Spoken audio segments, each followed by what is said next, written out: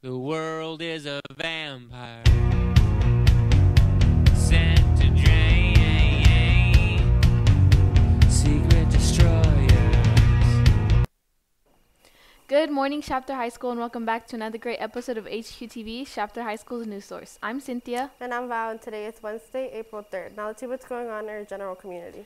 Juniors and seniors, Thursday is the last day to purchase prom tickets. We will not be selling them on Friday at all. The price for the next three, two days is $80. Students, every Wednesday come wearing any college shirt or hoodie to earn Pride points on our 5-star app. This includes every Friday as well with general gear. Seniors, grad night will be taking place Thursday, May 23rd. The bus will be departing at 6:30 a.m. and will be returning until s- wait, what? Is that? It's departing at 6.30 p.m. and Oh. they're returning the next morning at 6 a.m. The tickets are now for sale at the finance office and they will are $140. If you want to sit next to your friend, you have to purchase your tickets together. The Ironman game has been rescheduled to Tuesday, April 9th in the new gym. Doors will open at 5.30.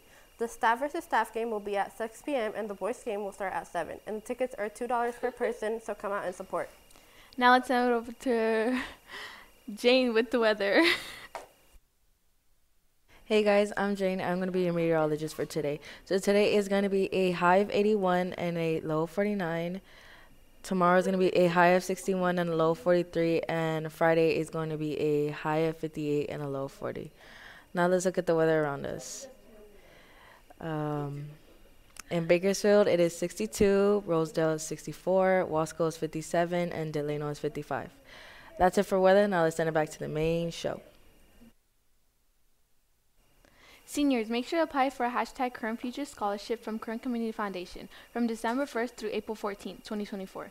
Graduating Kern County High School seniors who have a 2.0 GPA or higher or and are planning to attend a two-year college, a four-year university, or an accredited technical school are welcome to apply for a scholarship from Kern Community Foundation for the 2024-25 academic year.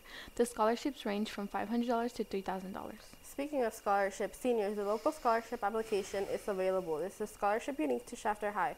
By filling out this app- application form, you will be taking part in about a dozen different scholarships. The applications are available only in the Career Center. Every year, the Lopez family offers $10,000 in scholarships to Shafter High School students. The only requirements are being a senior at Shafter High, GPA of 2.5 or higher, and are planning on pursuing higher education. Applications are available in the Career Center. Deadline is April 8th, 2024. Now let's head over to sports desk with Jane and get all the latest updates.